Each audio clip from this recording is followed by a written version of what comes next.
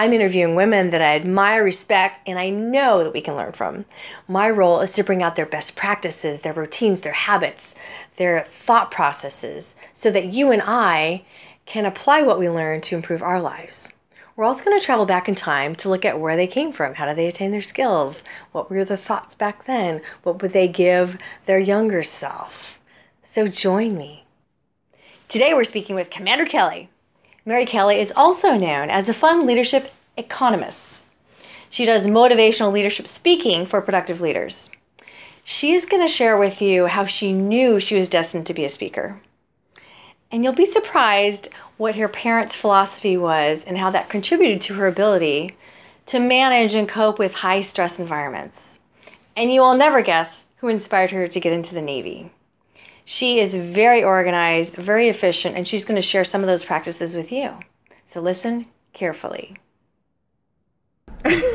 we think back to your childhood, when was the first signs that you saw um, that gave you the skills to be in your industry now? Well, I knew that I was destined to do some professional speaking because after church on Sundays, I would go home and tell my parents how I would have delivered the sermon. You're kidding me. I'm not. Like at age 8, 9, 10, my parents would say, So, what did you get out of church? And I would repeat what the minister said, and then I would reframe it with my story and my ideas and my interpretation. No way. I want a verification. it's a little geeky, isn't it? It's what, a little geeky. What did your parents do? Because, I mean, you had to they had to that had to come from somewhere i had great parents i still have great parents they're still alive i'm very blessed and there's four of us and my parents raised four very independent very confident kids. My parents said, "Do something even if it's wrong," and to me, that was oh. I know my parents. What's were, that mean? My parents were more worried about the fact that they wanted us to take risks. They yeah. wanted us to try and fail rather than not do anything at all. Safe, safe is okay, but safe doesn't get you very far. And if your boat safe. You might be safe in the harbor, but boats aren't supposed to be in a harbor. Boats are supposed to be at sea. And it was that kind of mentality. And my parents were very not just forgiving but supportive when we would try something and fail.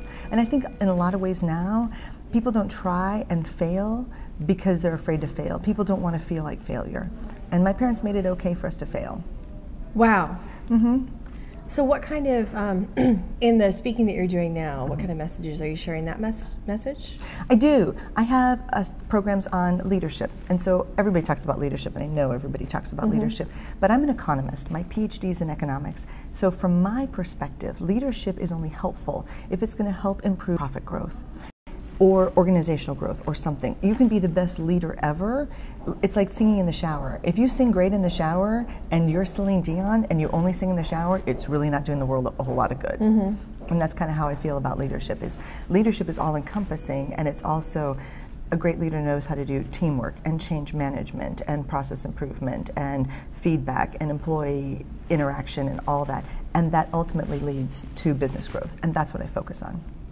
Let's go back to your your um, your church days and presentations. So after, what were the next steps? Knowing that you're going to be a speaker, you're going to be evangelizing something, something, something. Take us well, through some of that. So after I, I went through high school, and then I went to the Naval Academy, and and in the Naval Academy, you learn how to deal in a high stress, high pressure environment. I have great classmates, and we're all still really close. It's fantastic. And some of my classmates have gone on, one's going back into space next month. She's amazing. Going back into space? Where are you off to now? Off to I, space? I know, she's amazing. She's an astronaut. And then my other classmates are, you know, just they run big companies like, you know, 24 Hour Fitness and USAA. They're, they're big parts of the board. And I've got great classmates and very talented.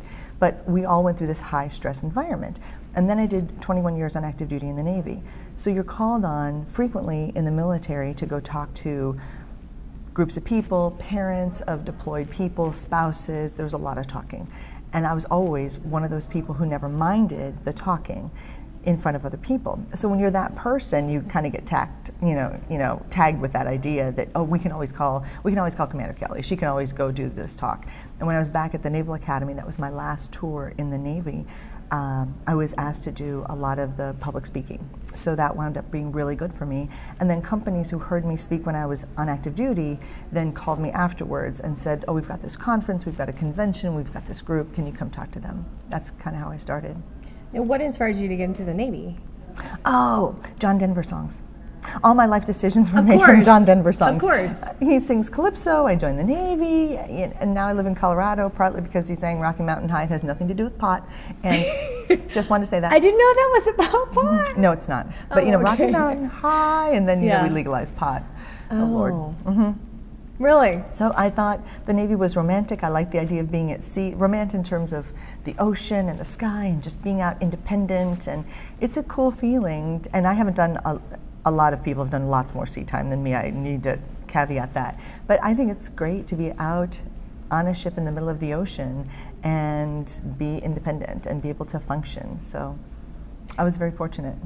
What kind of um, skills could be parlayed into the from from the Navy experience to the land life? You would think that they would not cross over, but they absolutely do. And first off, we have to run bases. And a large base has a lot of moving parts. There's, you know, there's a shipyard, there's, there's civilian workers, there's military workers, there's families who live there, and it's big money, big buildings, big people, big movements. When you're trying to move people for war, that's a lot of moving parts. Logistics are incredible. And we think about, you know, think about at home when your internet's a little spotty. Yeah. You're like, oh, stupid cable, you reset the router, call the mm-hmm. company. Yep. Okay, now imagine you're on a ship in the middle of the ocean. How are you going to get internet? How are you going to get secure communications? How are you going to do that? It's a whole host of other problems. And so the Navy teaches you things like problem solving. They teach you resource allocation. They help you develop those skills that are very applicable in the business world. And guess what? We've got in the business world, you generally get to choose your employees, or somebody else has screened those employees. Yet we don't get to choose. You get what you get, and then you have to work with them. So that whole idea of dealing with difficult people, which is a very difficult, you know, very very popular topic right now, is huge. And the Navy taught me a lot of that, and I got to practice. And that's what a lot of people don't get to do is they don't get to really practice those skills. And so you get into something, and not only do you get to practice, but you've got somebody watching out over you, so that they can you can go in and Yeah. go, hey boss, I've got this idea, or I've got this this employee. Am I doing the right thing? And and there's a you're expected to ask your boss for advice on these things, and they're expected to help you, not just say, "Oh gosh, that's your problem. You should go deal with it."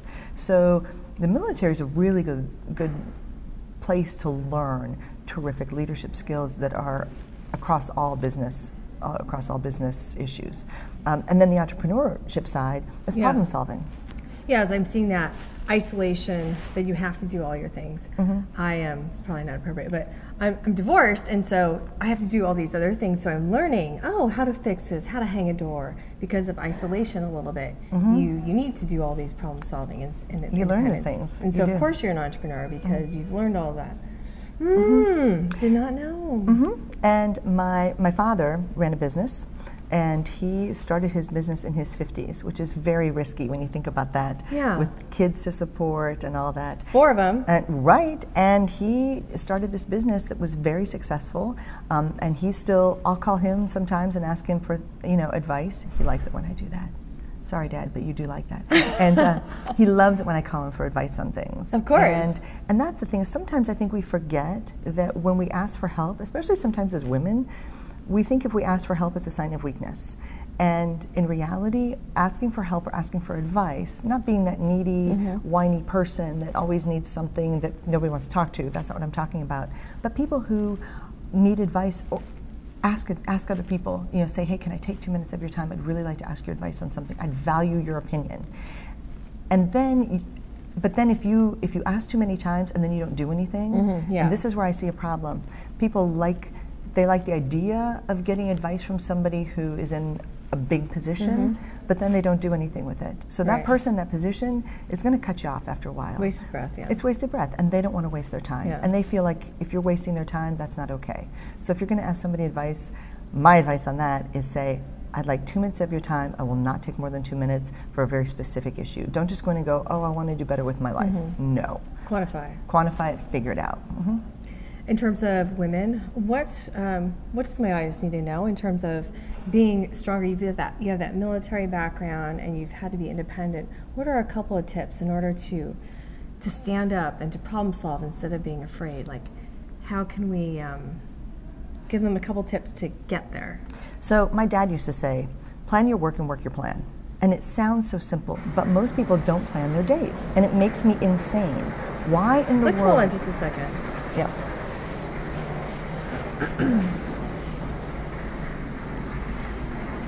I'll start over. Yeah, well, yeah, we'll start with plan. Mm-hmm. And there we go. My dad used to say, plan your work and work your plan. And that makes a lot of sense and it's so simple, but most people don't do it. And it makes me insane because I ask people when I coach them, my executive coaching, I say, take me through your day. And the sometimes they're lost of what they actually did because they're wasting a ton of time because they know they have all these things that they have to do and then they get into their desk or they get in their office and they've got all the things they have to do mm-hmm. and they should do to move their business forward but it's easier to do all these other little things. I'm like, mm. you know what? Nothing important ever gets done in your free time. You want to write a book, you schedule it, and then you sit your butt in that chair during that time and you write. There's none of like, well, I don't feel like doing it. You're never going to feel like doing it. And if it's something that you continue to procrastinate because you're just not motivated to do it, then guess what? Maybe that's not what you should be doing. Maybe that's not it. So I had, I had three coaching clients and three in the last couple of years when I said, you know what, you need to get out of this business. They, they were horrified. They said, but, but my family and this, that, and I've done this so long. I'm like, you know what, you're awful at this. And you hate it, and you're sick to your stomach every day when you have to go do these things. It's it's completely against what you should be doing. You have to find what you should be doing, not what everybody else says you should be doing. And then all those things on your to-do list suddenly become a lot easier. It's kind of like school. You know, when you're muddling through school and you're taking all these courses that you don't really like, and then you find your major. Usually, your major's courses for you are easier because it's things you're good at. It's things that you naturally like. And I think we have to figure that out for our career. I have a, a tool for this. I have what's called the five minute career plan. And it's on my website. Can I say my website? Oh, please, please okay. do. It's productiveleaders.com. Productiveleaders.com. And if you go to the area called free stuff, Mm-hmm. there's a five minute career plan that helps people kind of identify those things. And then there's a five minute business plan for our entrepreneurs Yeah. who want to figure out how to move their business forward. And then I think I've got my five minute year in review, which is okay, all Oh, that stuff yeah. that you thought about doing last year and you kind of didn't get around to, or the things that you really accomplished.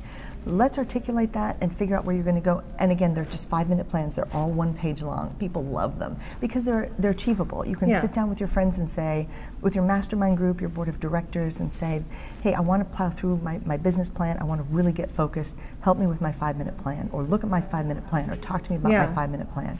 And it's the basis for um, a lot of the coaching that I do. I start them with all those plans. And so they're free. They're free resources on my website. How do women sabotage themselves? Women occasionally sabotage themselves in the professional environment by not focusing enough on work. And I know that there's people out there who say, oh, but I've got a family, I've got this, I've got that. That's fine.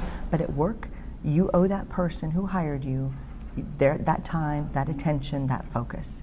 And that's got to be the focus. And some women do things in the workplace that cause people to not trust them so much or value them as much. And men do it too, but sometimes women will talk about it. And remember, we as women, in order to think, we have to articulate. So our way of getting through problems is to talk them through. We talk through problems. This is why when women go home at the end of the day and the man asks, "How was your day?" we feel like we should tell them. Yeah. We feel like we should tell them. And and the man, if you ask a man, "How was your day?" he's going to say, Good. Good, fine, yeah. And that's the end because they don't need to articulate and process through those things. Women also don't process cortisol, you know, our stress hormone, as fast as men. Men process it 10 times longer than we do. So we tend to hang on to emotional issues longer. Is that is that like um, there's a situation then "Ah!" and the guy is like ah ah," and, then they're asleep. Five minutes later they're they're, They're asleep, they're done. Okay. Or if you've and if you've ever been with a guy and you have an argument and then they go to sleep right afterwards, you're like, "Why are you sleeping?" I'm and because we're still in this yeah. turmoil. Oh, okay. This is us, and so we tend to do that in the workplace, and we need to just Hmm. recognize that there's differences, and we need to communicate based on the way they get communication, not what's good for us. So we tend to communicate in a way that is best for how we want to be communicated with. Mm-hmm. And the reality is, you have to communicate at work with people the way they best receive and get information. Because if you give somebody too much information and they're too busy, Yeah. they're like, oh gosh, I don't want to talk to her because it's going to be a 20 minute conversation. Mm-hmm, And instead, your boss needs to say, you know what, I need 30 seconds. I need a 30 second update or a one minute update or whatever. And sometimes it's text or email or phone call or face to face. But we, we sabotage ourselves by not asking, hey boss, how do you want me to best give you information? How often do you want it? When do you want me to do it? And how do you want me to deliver it? Just ask. Uh-huh. I was going to say, yeah, well, how can women learn about um, men and communication and ourselves? By asking, that's a simple way. But all, Mm-hmm. how, what other resources? You've, you've worked with a lot of men in your all of your history, but if you're not, Mhm. And I was very fortunate. So I remember being, and I tell this story sometimes in my groups, that we as women are not as direct with communication as men. And it's just how we are. And I was studying with one of my male classmates at the Naval Academy, and his roommate came in, and we were studying on a desk. There's only one desk at the time, and he puts his feet up on the desk. And my buddy looks at, you know, his roommate and says, "Get your bleepity bleep Yeah. feet off the desk." And and I'm sitting there going, "Oh gosh, this is going to be." And the guy just took his feet off the desk, went, "Okay." and I thought that would never happen in women world. You know, that would never happen in women world. We would just think about it. We'd go, "Oh," and we'd pent, we'd have pent up irritation and all that. And then then it, the last straw would happen, and then we our head would explode, and you know, then we'd be like, "You're always doing this. You always leave your socks on the floor." Always, and, and their way's better, and it's a lot less stress, and it's clearer communication. And I think sometimes we as women, in our desire to be liked, we we are not clear with communication. And you don't have to be mean but you do have to be clear. And sometimes we think well if we just if we hint around the issue then they'll if we give it. them clues, we'll give them clues. And, and men are more direct. And we need i think we need to be more direct. And you can do that in the nicest possible way. So if one of your employees or somebody you're working with isn't meeting a deadline or you mm-hmm. need them to focus more on a certain aspect you can say you know we've got this project happening and it's due on friday i need your help on this i need this report in because it's due on friday or consequences due on friday and help. Right. Give them a because. I need this because this. And be really clear. And you don't have to give a lot of words, mm-hmm. but I need this by Friday because I have to work this to get this done. Oh, okay. And then people will respond to that. But be clear instead of, well, you know, that report's due next week. Okay. That doesn't tell them anything. Yeah. But we kind of hint around it, hoping Right, they'll right, get it. right. Yeah, don't hope. Be direct. Be more direct and be clear. Yeah. And I think, again, we, a lot of women like want to be liked more than respected. And I think it's more important to be respected than to be liked because it's great to be liked and we all want to be liked, but business is not not the Miss America pageant. It's not. There's no Miss Congeniality in business. And being respected is really important. So I just want to emphasize when you go back to uh, to when you were 25 years old. Are you there? hmm I'm 25 years old. Yeah. Okay. What would you tell your 25 year old self? Um, my 25 year old self, gosh, so when I was 25, I had already been to several countries in Asia. I'd already um, been stationed in a few places in Asia. And my 25 year old self was invincible. Oh, I loved my 25 year old body. I did. Oh, I, oh, I loved my 25 year old body. I was in shape. I was thin. All, all that. Um, and that 25 year old person made the one thing that I did, the, I have very few regrets in my life, but every regret comes from a place of arrogance. And I haven't had too many of those I'm happy about, but there are a couple moments in my life where I was arrogant and that did not result well. I said something to someone that wasn't the right thing, mm-hmm. or I was trying to feel more important. Mm-hmm. And my 25 year old self needed to guard against that. So I would caution my 25 year old self about a little bit of pride. And hmm. that, so I got hit upside the head a few times on that one. And hopefully I've learned from my 25 year old self mistakes. And you know, we learn all the time. But oh, yeah, I do miss my 25 year old body. I'd be like, like- enjoy that body now. It doesn't last forever. Yeah. there you go. There you go. Um, you had mentioned daily um, daily life for, for a moment. Let's look at your daily life. How do you start your day and, and close your day? Because you're quantifying, you're being clear, You sound very organized. How do you start your day? I sound organized. So the and you're right. And the reality is, I, since I was about 12 years old, I carried around a yellow legal pad, and I make notes in a yellow legal pad. And I still, I in my it. life, I I know it. it. It's insane. And still, I carry around a yellow legal pad. So it was funny when I went back to teach at the Naval Academy. Mm-hmm. I went back. There were people who I remember. They go, "Oh my gosh, you're still carrying around a yellow legal pad," and I make little boxes and I check things off. And I need, but I wanted something more organized, more taxonomized in Mm-hmm. categories Taxonomize. taxonomized. Not to be confused with taxidermy, that's a whole Yeah, different other yeah, thing. yeah. So I created a productivity sheet. And it's also in the free resources, and it's produ- because I did it for Yeah, me, yeah, because yeah. I needed it. Yeah. And there's a block for um, calls to make, to do Mm-hmm. for the day, follow up, appointments, and then short term accomplishments, and then some long term goals. And if you do that every single day, Yeah. it really organizes your day. And then you've got these sheets, maybe the stuff from less, yesterday or the last week. Mm-hmm. And what I do is I print off one of those sheets every day. Mm-hmm. I three hole punch it, and then I put everything I have to do that day. And then the, if I need to, if I'm working on a book, I I write, spend 45 minutes on this book, spend you know 30 minutes doing this, spend, spend whatever, and I map out the time. And so my day is planned, and I, and so then if I've got five minutes, then I look at it and I say, okay, that's a call I can make, or that's a text I can make, or that's an email I can answer. Now, what throws us off our schedule Yeah. is email. We get up in the morning and we've all got 300 emails and we've got things to respond to and phone calls, and then someone will call us and say, hey, can you come to this conference? And all of a sudden, that shifts Yeah, our schedule. right. So you have to plan your day knowing that there's going to be shifts. But that doesn't mean you, plan, you don't plan your whole day. You do plan the day. But if something Flex comes time, in, yeah. you need to say, okay, here is my work time, and what am I going to do? So if I don't have someone to respond to, then that's when I say, okay, if I've got this 45 minutes, that means that's outbound communication, that's someplace I have to go, uh, you know, that's me looking for business. But my day starts early. Uh, Navy training as well helps that. So I get up about, um, about 5.36 every morning. Um, I love my coffee.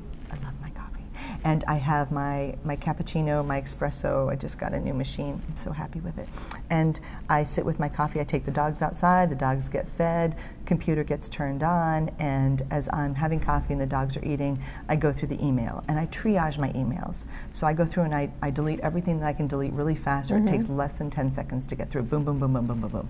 Get through that. And then anything else that needs some attention, I highlight that and I move it to the top of my my email box.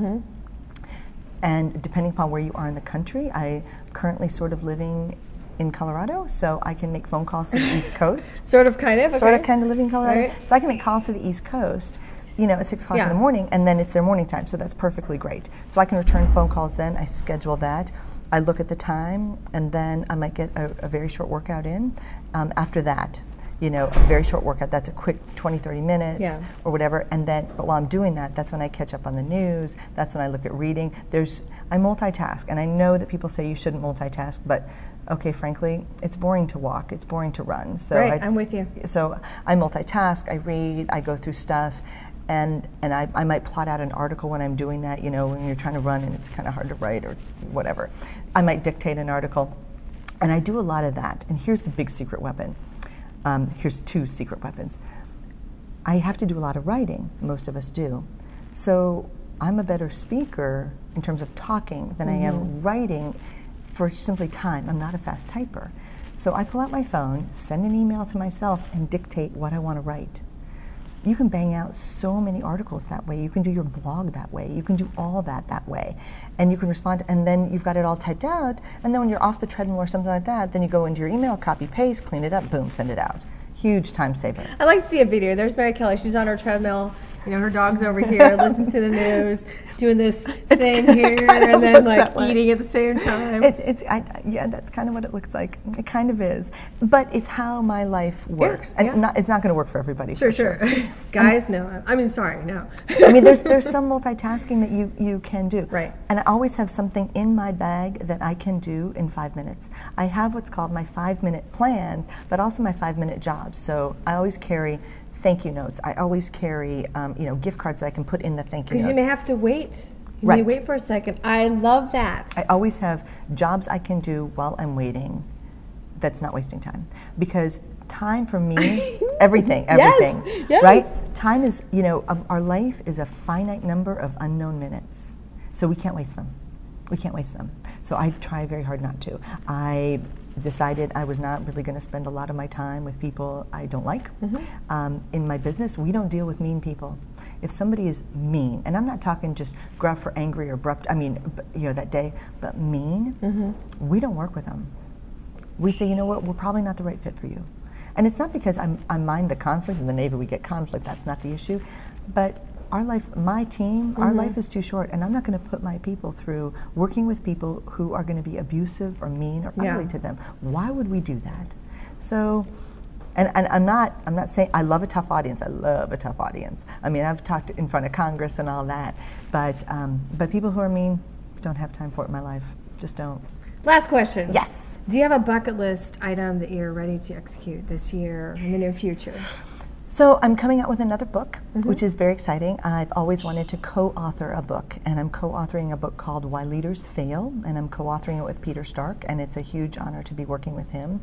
And that's that's on the bucket list. So my a lot of people's bucket list has to do with travel. Yeah. The Navy was great to me in terms of travel. I got to go to amazing places. Um, I had always wanted to, as a little kid, flying off a carrier, so I got that one off the list. Um, uh, last year, I got to go to Machu Picchu in Peru, and so that was on the bucket list. And I love travel. I'm crazy about travel. So my bucket list, a lot of people have, you know, the, the leisure idea and the Yeah. travel, and my bucket lists also tend to be very business oriented. Mm-hmm. And I love the fun of a book launch. I know that's crazy, and it's a ton of work and it's crazy, but I love sort of the excitement around a new product. It's kind of like a new puppy, you know. It's like woohoo, we can make it anything we want. So what's this about? It's why leaders fail, and there are the seven I mean, deadlies. It's, obviously, but it's the seven deadly sins of leadership, and there's a book out called The Seven Deadly Sins of Leadership, and they got that title before we did, which was sad. But it's seven reasons why leaders sabotage themselves, um, usually unintentionally, and then what you can do to fix it. And this is what we see in our executive coaching clients a, a lot, especially at the more senior levels. And it's things that they do that they don't realize that they're just they're stabbing themselves in the foot and usually destroying the teams around them. So it's, it's been a really great process. I'm really fortunate. where can we find all of your properties, your online properties?